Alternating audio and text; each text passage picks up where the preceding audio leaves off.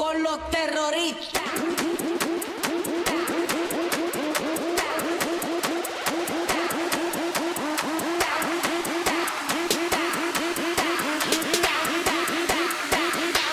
Then do the Harlem Shake.